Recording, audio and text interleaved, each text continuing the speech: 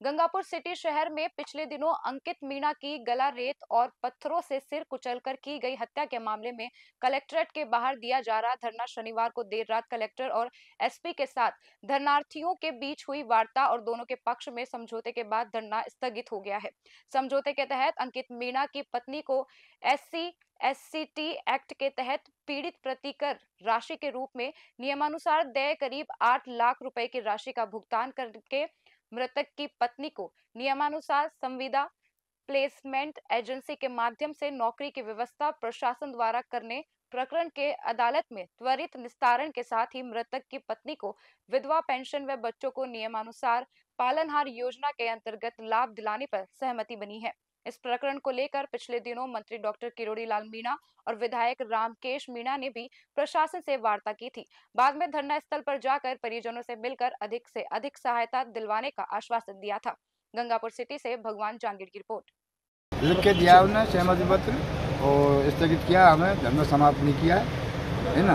अभी मतलब पंद्रह तारीख अगर मांग नहीं मानी तो पंद्रह तारीख से दोबारा धरने बैठ जाएँगे। एक मांग है जो दो मांग है। जो एक पचास लाख रुपए वाली और एक जो नौकरी वाली। वो हमारे मान्य करोलाल जी से बात हुई है और हमारे प्रदेश उपाध्यक्ष मुकेश दादी जी से बात हुई है। आज उड़ीसा में वो। उन्होंने कहा प्रस्ताव भेज दीजिए। हम इन मांगों पर अमल करेंगे क्योंकि अभी आचार संहिता चल रही है और जो भी हमारी पूरी मांग थी फास्ट ट्रैक वाली और इनको यहाँ जो साढ़े आठ लाख रुपए वाली और बच्चों की पढ़ाई के लिए और चिकित्सा सुविधा उस फास्टैग वाली पूरी हमारी सहमति बन गई है। जितनी भी मदद करेंगे हम पूरी तरह से मदद करेंगे। और ये आंदोलन हमने ख़त्म नहीं किया है ये आंदोलन स्थगित किया है।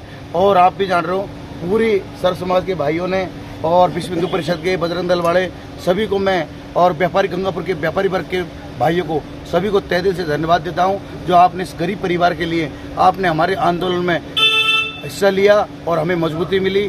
सरकार ने हमारी बातों पर अमल किया, प्रशासन ने हमारी बातों पर अमल किया आपको बता दें, इन बातों में हमें लिखित में दिया गया है। लिखित में हमारी बातें रखी गई है। हमने स्वर्गीय अंकित अंकित मीणा की पत्नी को S C, S T, act के राशि के नियमानुसार आठ लाख रुपये भुगतान आवश्यक कार्रवाई की जाएगी। लिखित में, मृतक की पत्नी को संविदा एजेंसी के माध्यम से नौकरी की व्यवस्था प्रशासन दी जाएगी। संविदा भी ये दे देंगे। अभी प्रकरण अदालत में तुरंत निस्तरण हेतु कार्रवाई जल्दी की जाएगी। मृतक की पत्नी को विधवा पेंशन बच्चों को नियमानुसार पालना योजना में लाभ दिया जाएगा। नियम अनुसार पीएम आवास के योजना के अंतर्गत मृतक की पत्नी को आवास भी दी जाएगा। मृतक की बच्चों की शिक्षा हेतु राजकीय महात्मा गांधी में स्वामी विवेकानंद मॉडल स्कूल में प्रवेश दिया जाएगा। इन बच्चों को दोनों की पढ़ाई प्रशासन करवाएगा। ये हमारी सरकार से मांग रखी गई है और हम इस मांग से सहमत हैं और ये आंदोलन पंद्रह जून तक स्थगित किया जाता है। देखिए, जैसा हमको सबको ज्ञात है कि पिछले सप्ताह जो श्री अंकित मीना जी हैं तो उनकी जो हत्या का जो प्रकरण हुआ था उसमें कुछ समय से धरना चल रहा था कलेक्ट्रेट पर। तो इसके अंदर, जैसा कि ज्ञात है कि पुलिस की तरफ़ से त्वरित कार्रवाई करते हुए जो भी अभियुक्त थे इसमें तो उनको मात्र तीन से चार घंटे में पकड़ लिया था। और जो भी कार्रवाई है सुसंगत इसमें न्याय संगत की जा रही है। इसी संदर्भ में कलेक्ट्रेट में पिछले सात से आठ दिन से जो धरना चल रहा था, परिजन थे तथा अन्य कुछ व्यक्ति थे तो उनके साथ हमने आज सभी के साथ कुछ समय पहले वार्ता की, जिसमें एसपी साहब भी थे और एएसपी साहब थे, बाकी भी अन्य लोग थे। इसमें हमारी आपसी सहमति से आज यह निर्णय लिया गया है, जो परिजन हैं श्री अंकित मीना जी के, कि जो धरना है, वो आपसी सहमति से समाप्त किया जा रहा है।